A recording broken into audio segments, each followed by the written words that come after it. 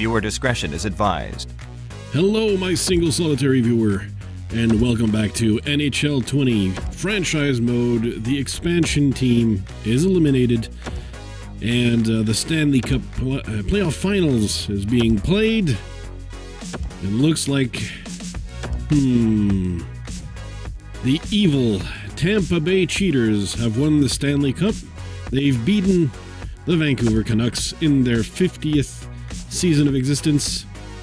As you can see, the final two Canucks versus Lightning, our team, the Assassins, the big cranium, the big skull, beat the Bruins, the Leafs, but then fell to Tampa Bay. And the trophies are awarded to Claude Giroux.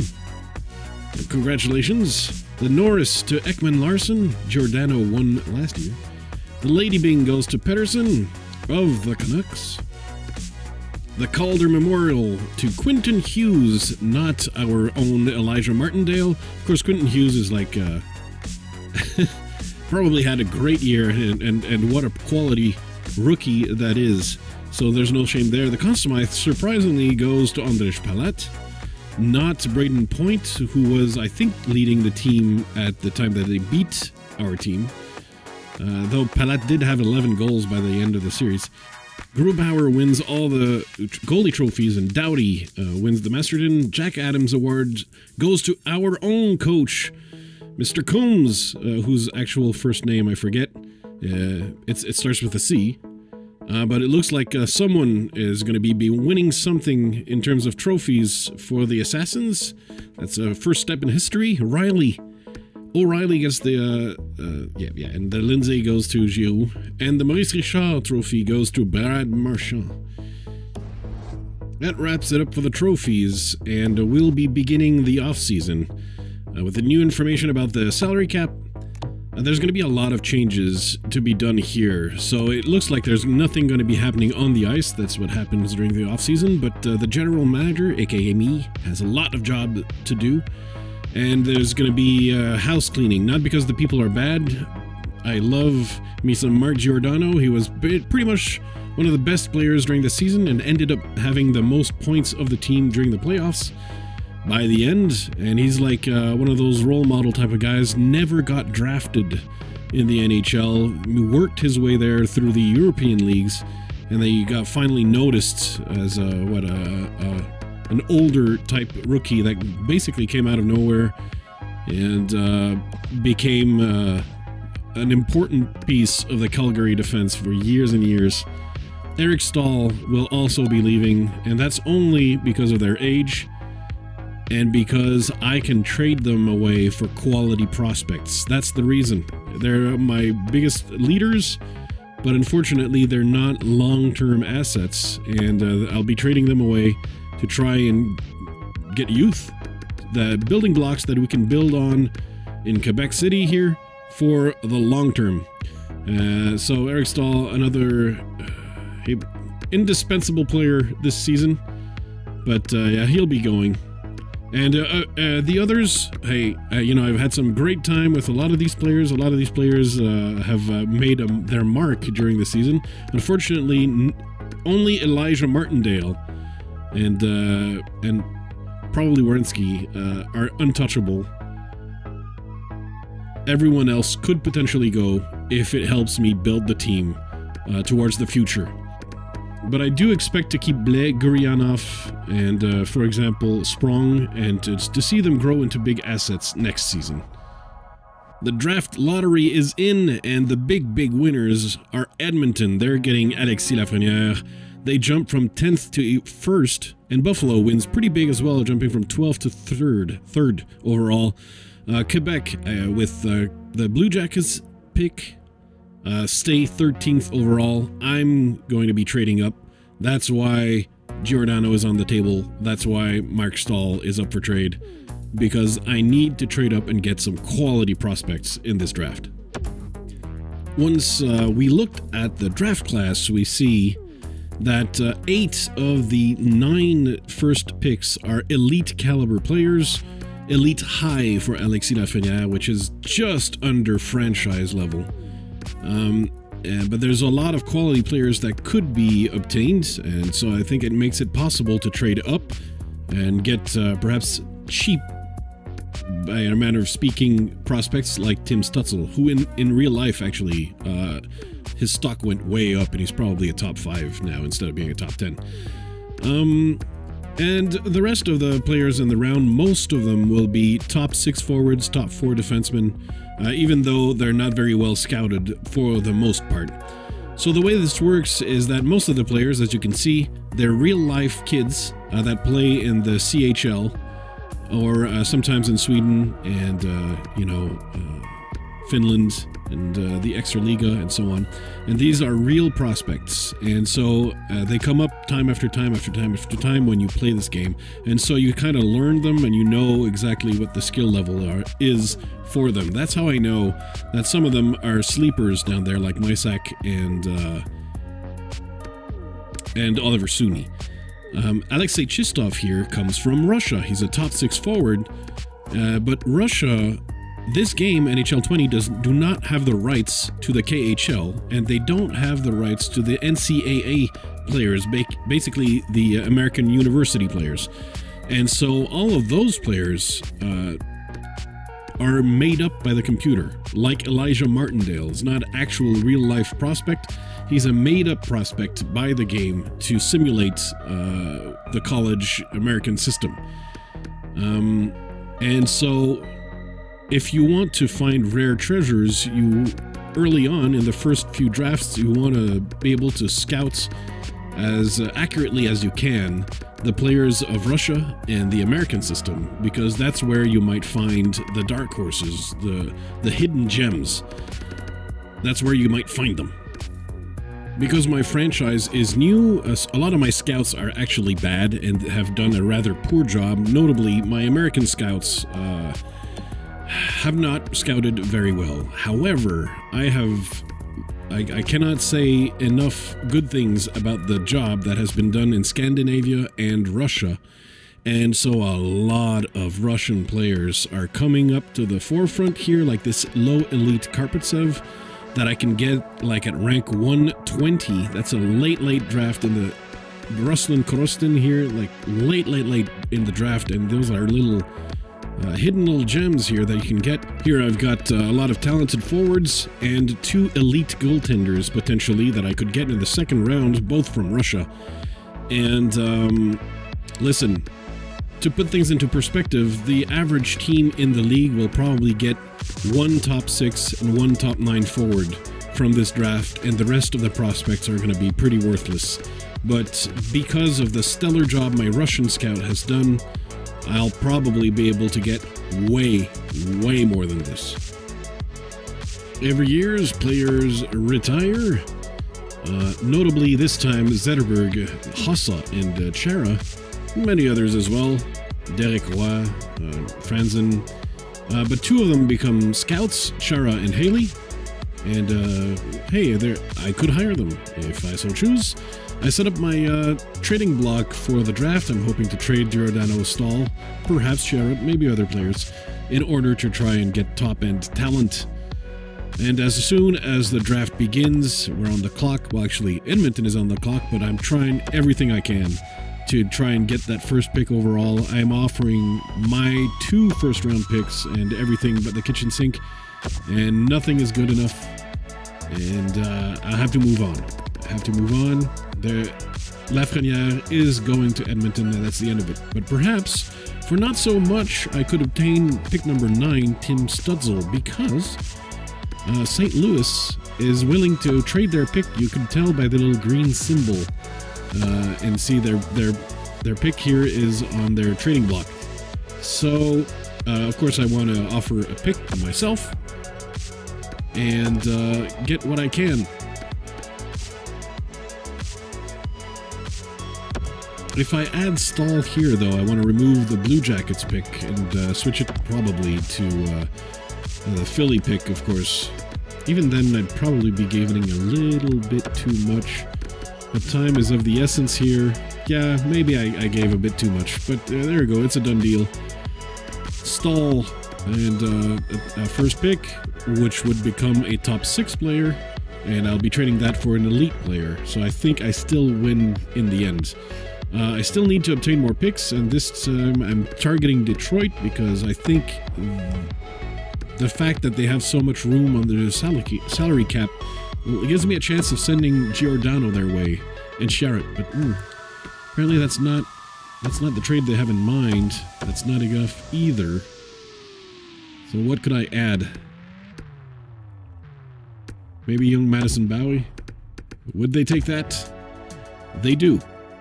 So I get also a, a, second round pick that I'm hoping to use to draft one of the elite Russian goaltenders. So in this trade, I gave a lot away. Giordano, my my 13th pick overall, and uh, a top four defenseman prospect in uh, Madison Bowey. Actually, Madison Bowey, I think, is destined to become a top six defenseman. But uh, shh, don't tell that to Detroit. And uh, maybe I'll be able to uh, win some stuff. So the, the draft continues, um, and uh, Byfield goes to LA. And uh, Holtz, Alexander Holtz, goes to Ottawa. The Rangers will draft probably uh, Cole Perfetti. Dang it. I was hoping to get Cole Perfetti because he kind of looks like uh, like Joey's little brother. and he's a centerman, which would have been useful. But that means that Lucas Raymond, who is a higher end prospect, slips down to to me, and I'd be able to draft Lucas Raymond from Sweden. He's a Patrick Kane type of player. Might lack, um, might lack. I could I could take Lundell as well, who I, I reliably know that he's uh, he's pretty good. And uh, Tim Stützle, of course, is is probably uh, the other player I'll be drafting. Since Stützle is already a centerman, I'll I'll go with uh, Raymond. Even though technically speaking, I kind of have a I like Lundell. I've had good experiences with him in the past. Yeah, but I have to make up my mind at some point. I still have two minutes to do so. But yeah, definitely going with Lucas Raymond. He's a he's a quality prospect in real life as well. But I don't I don't know where he's going to go in the draft IRL. Sometimes NHL, uh, the game, you know, uh, overrates some players that end up not being not living to the uh, NHL expectations. The NHL, I mean the games, you know, not the actual uh, real life expectations. Uh, Tim Stützle, yeah, I said uh, in real life his uh, his stock has climbed quite a lot since the World Junior Series. He basically carried the German team on his back and uh, really turned a lot of heads. So I'm drafting him, but in the game, uh, Tim Stützle is actually like uh, many years away from making an impact in the NHL. However, he's an elite level prospect, so he's worth quite a lot, even if I trade him or something. But of course, I'm not done trading because I'm eyeing two Russian goalies this draft, uh, but I don't have the picks to go draft them, so I need to obtain them. I can get one from the Canadiens, I think. And uh, I just have to send them uh, my pick for next year uh, in return. And then we can keep uh, simming the first round. Rossi goes to the uh, Sens, Tyutin to New Jersey. That's a that's a that's a Russian, so it's a made-up prospect. Antonio Stranges goes to Winnipeg. What will Detroit pick? uh, uh, who I uh, have no recollection. I think it, uh, that's an American made-up player here. Wallander from the um, the the the Swedish league, but not not the main Swedish league, the secondary Swedish league. He's a top four defenseman. It's a solid pick. Uh, Zary here for the Wild. I'm not uh, familiar with his potential. I think it's probably top six forward though. Sourdif goes to Chicago with a top six potential. Justin Barron uh, goes to Dallas, and he's got a top four uh, potential. He's one of the better uh, defensemen you can get in the first round. Jean-Luc Foudy goes to New York. He's a top six forward uh, player. Kyle Gould goes to uh, da uh, Dallas. Why? Why Dallas again? With Washington, he's also a top four defenseman, and not a bad one as that. Drysdale goes to Ottawa, who's they're picking yet again. They have a lot of draft picks. They they are bottoming out. Uh, an American prospect, so I have no idea what his value is. Probably uh, on the top four defenseman type. Uh, Byron, the same thing, top four defenseman, uh, an American prospect, but this one is well scouted, so I actually know what his worth is. Uh, Greg goes to Carolina. Uh, not as familiar, not as familiar with this. Him, not as familiar with Schneider either. But I think Schneider might actually be not a top four. I don't think he's a top four. Ivanov goes to Ottawa. Uh, Theo Rochette is a top six forward center and um, he goes to the Wild. Uh, Jérémy Poirier goes to Florida, and he's a top four defenseman. It's not a bad pick. O'Rourke goes to the Devils, and I think O'Rourke might be one of the first top nine forwards. Uh, I think McLennan is also a top 9 forward, so it's like one of those not as good picks, I think. But Lapierre is a top 6 forward, can confirm.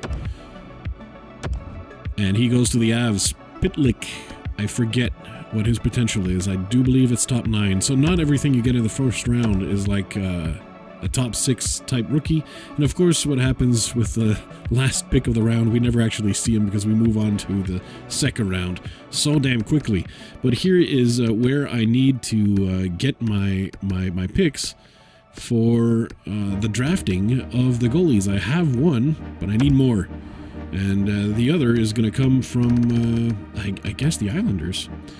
If I can, uh, or actually I can get the picks that belonged to the Islanders from Ottawa in exchange for Andreas Johnsson. And uh, that's that's a trade. It's accepted. They'll take it. Time to make our uh, second round picks, and I'm going for Zion Nybeck, who's uh, a Swedish player, Swedish forward.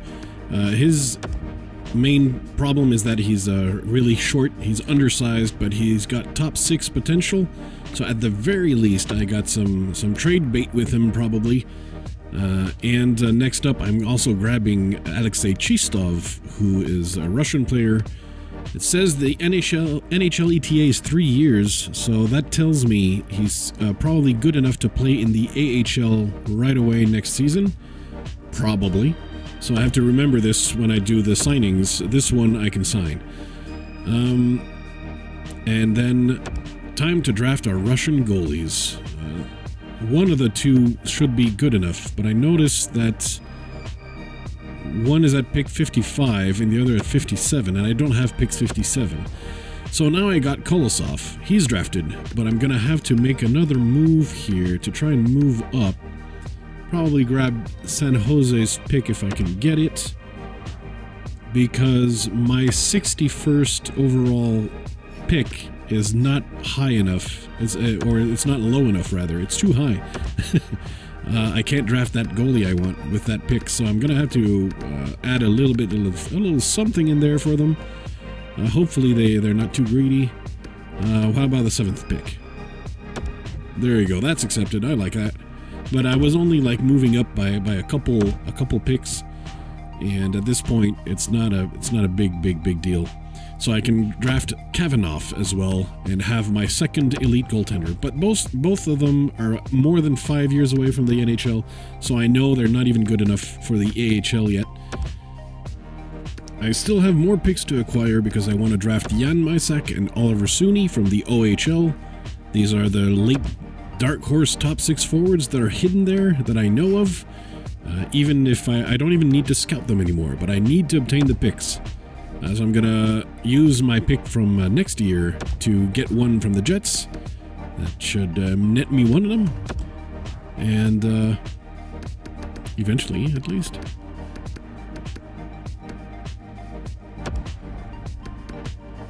And here, I, I think I'm overpaying here.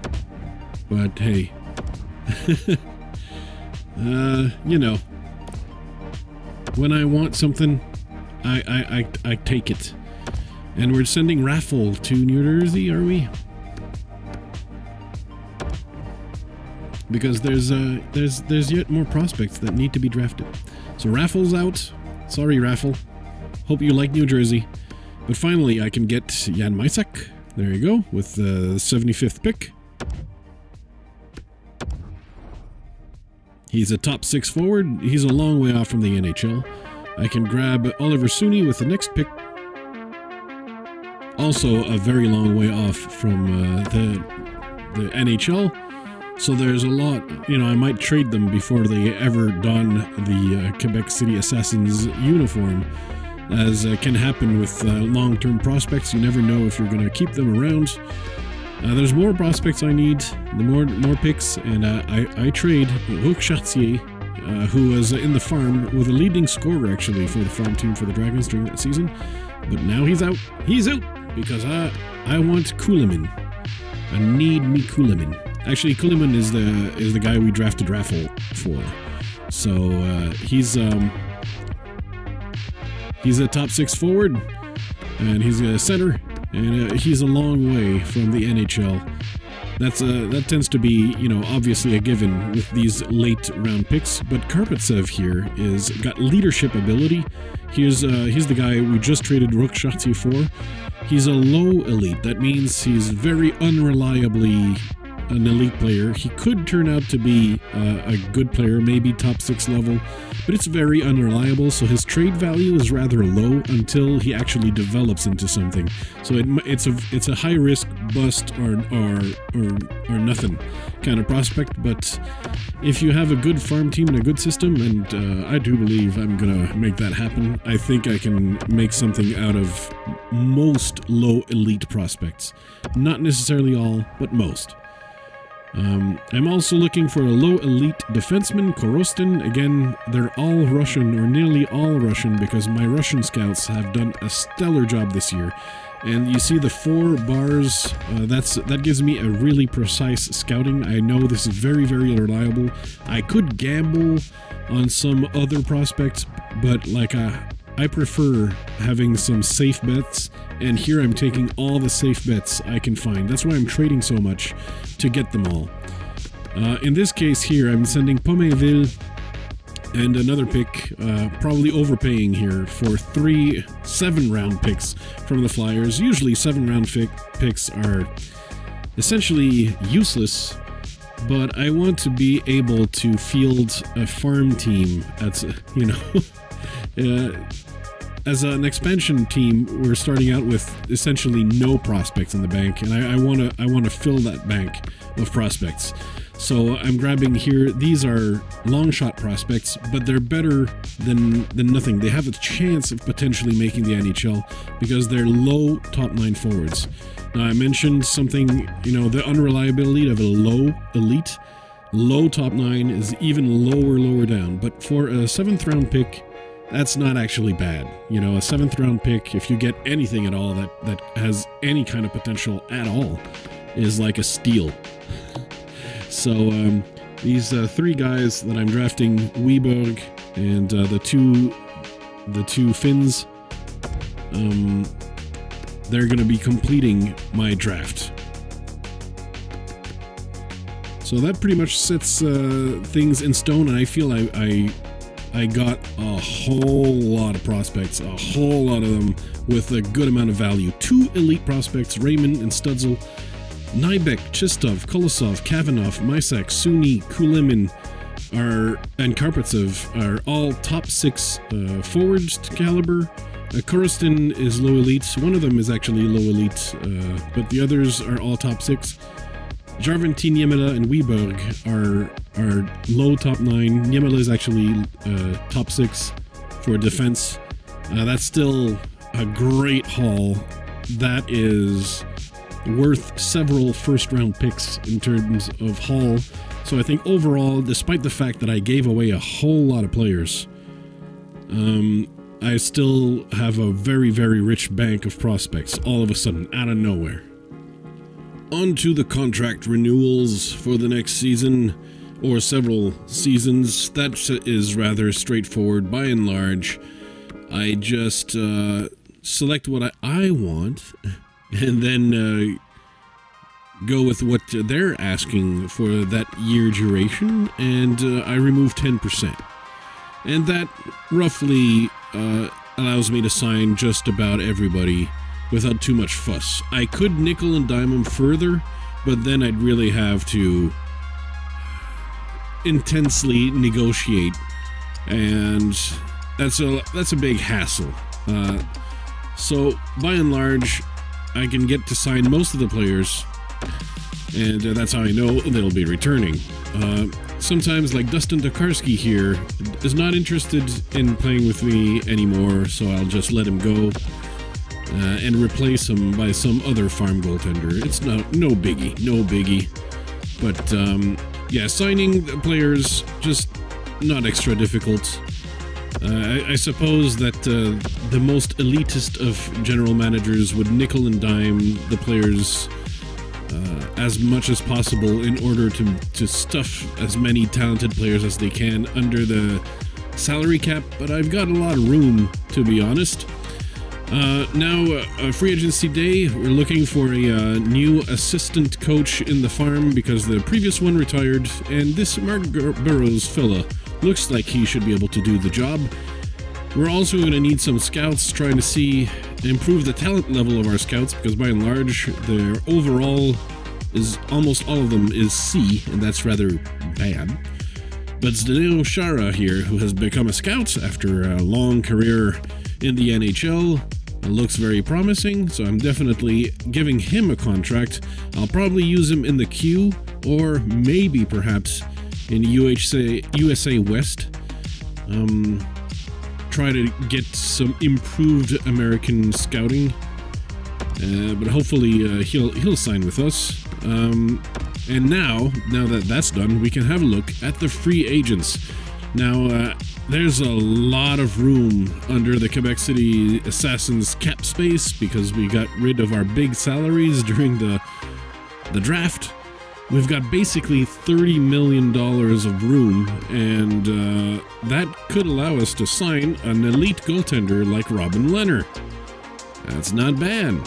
I can even be, I can even make a rather generous offer that uh, the other teams will have a very hard time competing with because as you can see Ottawa is also interested in signing Robin Lehner and that's not really surprising because uh, they were they had the weaker of the two Andersons in front of their uh, net, and uh, that didn't go well for them, obviously. And they're uh, looking for an upgrade, also unsurprisingly. And I figure, you know, I could do better than Thatcher Demko. Uh, and of course, here it's difficult to resist the uh, allure and mystique of Alex Pietrangelo. He's really a high quality defenseman. And I don't have an elite right handed defenseman. And if I signed him, I could have the pair of Zach Werenski and Alex Pietrangelo. That would be a heavy hitting pair, a heavy hitting duo of defensemen as my first pair. So I'm, you know, I got a lot of money available to me. I just don't want him for seven years, you know, that type of contract. So I lower the amount of years, but uh, increase the amount of money. And I hope the other teams can't really compete. I'm also looking to increase my chemistry on the blue line because in the past year that's been one of the weakness of the team. Uh, so Schmaltz, I'm hoping, will fit nicely on the third pair or will give me an option on a third pair because I think he's not quite ready for the third pair. I think he's a, a AHL level uh, defenseman, but I'm still I'm, I'm still hoping. I'm giving myself some options, and we'll see, you know, the preseason. Uh, because I saw another defenseman that might fit that bill, and I think this one is uh, the kind of guy that could replace uh, Ben Chiarot. His name is Derek Forbort, also an American and uh, the scout assessment says he's a good fit for my third pair. I was looking for good fits for my second pair because I don't really have a lot of chemistry on the second pair either, but those guys are not available at free agency it seems. Nothing that would fit in terms of the chemistry, so I'm going to have to look on the on the trade block for guys that might fit. Uh, as for the forwards, I need to get some leadership again because I did trade Staal and Giordano. There's nothing like Joe Thornton, 40 year old Joe Thornton, for that old experience, old man Joe. It's going to be teaching some kids how to play hockey in Quebec City. Well, you know, if he accepts the offer. Uh, replacing Dustin Tokarski will be Dan Vladar. Um, not seen here, I'll be offering uh, Oscar Dansk as well a, a contract for that uh, same purpose. Now, Jonathan Berggren, I'm offering a contract because other teams are interested, Montreal and Chicago, and that tells me that's a kid with potential. Uh, Mark Burrows has joined the team where uh, we have a full coaching staff, and uh, new scouts Brady Fairchild is uh, on board. As is Zdeno Chara. Welcome to the franchise. I'm uh, gonna have some slightly increased scouting. Uh, yeah, my, my scouts will be just a tad, tad bit better this season than last.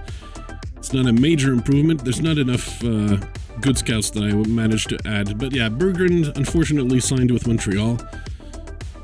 I, my scouting was bad on it, but yeah, we're welcome Derek Forbort. He's very happy to accept the offer, as is Joe Thornton.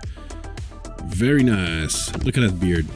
Jordan Schmaltz uh, will be joining the farm team most likely, but perhaps is going to be an option uh, on the blue line in case of injuries. Dan Vladar will be filling that hole in front of the nets in the farm. Pietrangelo joins the team. That's an elite level signing, as is Robin Lehner. Very big, very big, and uh, hey, Quebec City might compete. Now, all summer long, I tried to get Alexis Lafreniere from Edmonton, no avail. And uh, what we didn't see, I signed Tyler Toffoli as well, right winger Tyler Toffoli. Uh, but now we're in the, the just about we're in September, and uh, the coach wants me to have Lucas Raymond in the pro squad, and I was thinking of starting Lucas Raymond in the farm uh, because I don't know that he's actually NHL ready for real. but the coach is quite insistent uh, that he should get at least nine games, so I suppose I can do that. Especially since, you know, if I do anything else, it's just gonna make my my coach angry with me. He just won the Jack Adams Trophy, so let's let's uh, let's treat him with kid gloves and give him what he wants. And look at that, plus two morale. Wow, if life was this easy. And uh, as I mentioned, I'm looking for uh, a defenseman for a second pair, and on the trading block, my guy is Cam Fowler. But what I notice is also the presence of John Gibson on the trading block, and now I just signed Robin Lehner. It's bad form to trade a guy you just signed, but John Gibson is on the trading block. And the difference between Lehner and Gibson is that Gibson is a little bit better, and he's a younger as well. Uh, so I'm thinking, all right, it's bad form to trade the, uh, trade the Robin Lehner you just signed. But if I mean, if I if it nets me Cam Fowler and John Gibson, I'm doing it. So we're giving away Demko, we're gonna be giving away Adam Larsson, and of course uh, some uh, some other uh, more minor assets, and that trade is done. By and large, it's looking like uh, the new players uh, generally fit rather well with the coach's scheme fit, and that's really important. It might be more important than their actual talent level. As you can see, Nichushkin was such a perfect fit for the second line, it just boosted the team chemistry. And again, still trying to get Lafreniere in Quebec City, just because, you know, it's the it's the biggest talent of the Quebec Junior Major Junior Hockey League since uh, Sidney Crosby or maybe Nathan MacKinnon would be more more accurate. And you know, with Quebec City being Quebec City, you you want that local kid to build a franchise around. That's the, the it makes a big story. It makes a good story, but I just can't get him. And the couch fit, the scheme fit says that Alexis Lafreniere actually fits on none of the coach's lines. So I'm just gonna give up on that dream. I'm gonna give up on the Lafreniere dream because it's not meant to be. The chemistry is, is not there. It's been a very busy off season, and uh, the next season is approaching. Actually, it's in the next episode. Um, I'm still lacking a little bit of uh, chemistry on the defense, so there probably is still going to be more moves, but that's going to be left for the next episode. See you then, bye. Sponsored by the Flouze Crew on Patreon.